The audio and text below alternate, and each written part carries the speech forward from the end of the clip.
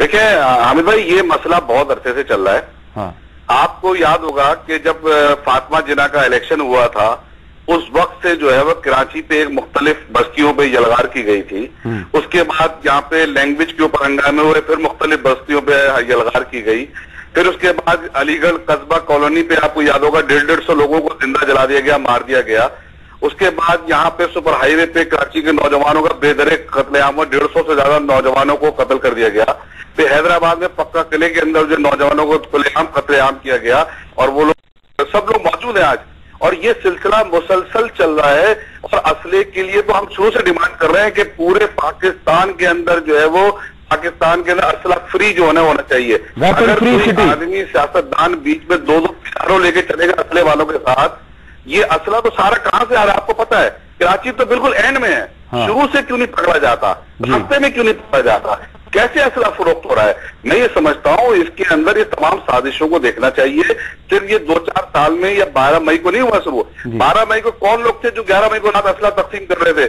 کون لوگ تھے جو جوس کو جلوس کو لیڈ کر کے اسلحے کی لیڈ میں اور مختلف جگہوں پہ حملے کر رہے تھے؟ تو یہ ساری چیزیں ریکارڈ پہ موجود ہیں۔ اچھا، یہ جو پچھلے- ہمیں ول چاہیے جو ہمارے جو موجودین بیٹھے ہیں جی۔ پچھلے چند دنوں میں جو قتل و غارت ہوئی ہے ٹارگٹ کلنگ ہو رہی ہے اس کی کیا وجہ ہے؟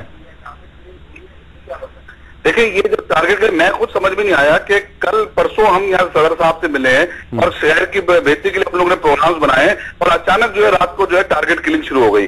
اور مختلف علاقوں میں جو ہے فائرنگ شروع ہو گئی اور بیچارے نو غریب لوگ مارے جا رہے ہیں غریب مارے جا رہے ہیں۔ اتنا ہمیں افسوس ہوتا ہے آخر یہ کون سے ہاتھ ہیں جو یہ پکڑے نہیں جاتے تو میں یہ کہتا ہوں کہ ہمیں تمام جو ابھی ہمارے جو معتزین نے بات کی میں ایگری کرتا ہوں عرفان بھائی کی بات بھی کہ ول ہونا چاہیے پولیٹیکل ول جب ہوگی ہم سب بیٹھ جائیں گے کہ ہمیں یہاں پہ لینڈ مافیا کے خلاف کاروائی کرنی ہے چاہے وہ کسی بھی جماعت۔ لیکن دیکھیں ایک بات سنیں مسئلہ مسئلہ پولیس جو ہوتی ہے وہ گورنمنٹ کے کنٹرول میں ہوتی ہے۔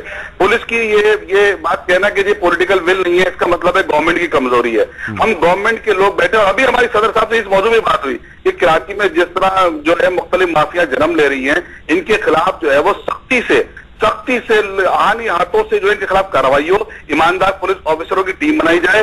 یہ لینڈ مافیا کے خلاف یہ ڈرگ مافیا کے خلاف یہ جتنی مافیا ہیں یہاں پہ اور یہ یہ جو فاروق سلیم صاحب نے کہا ہے کہ یہاں پہ مختلف مافیا جو بتہ خوری کے اندر ملوث ہیں، جو اخبار برائے تاوان میں ملوث ہیں، جو لینڈ مافیا میں ملوث ہیں، یہ سارا پیسوں کا چکر ہے۔